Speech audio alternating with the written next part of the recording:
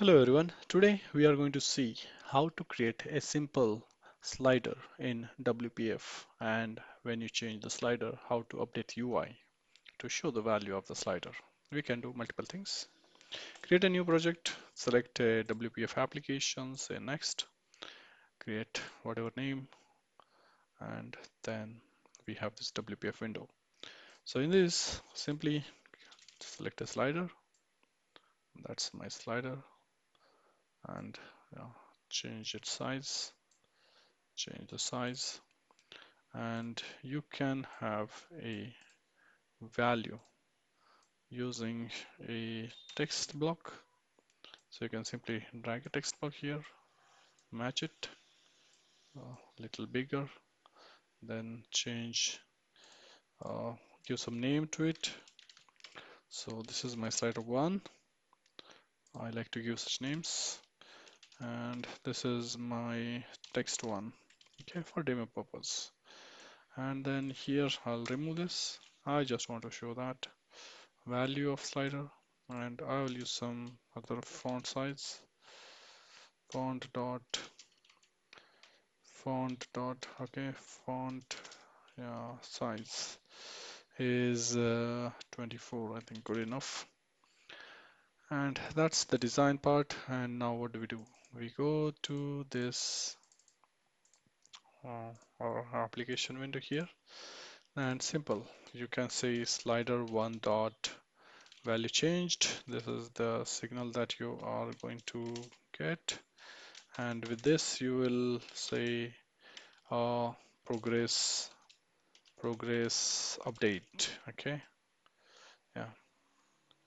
You can do that and see it says red. So if you do alternate generate method that's cool right it does the implement the implementation for us. Quite nice useful feature. And with this now on progress object what do we want to do? We want to say text one dot text is equal to uh yeah simply update the value e dot new value right? And if you run this as you can see if I change this I'm seeing this value of the slider. Okay you can configure the slider by saying slider slider one slider or minimum value or with zero. Uh, slider one dot maximum value maximum is equal to 100 and here uh, we can uh, just uh, improve it. Where is this fellow? Let's increase some room here. I can't select this. Where is that text block? I don't see that. So I'll delete it. Uh, I'll go here. I'll select a text block. And uh, I'll drag it again.